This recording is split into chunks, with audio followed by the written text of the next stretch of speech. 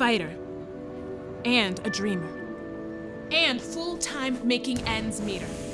Early riser with a nudge, high school struggler, and now college achiever surrounded by believers.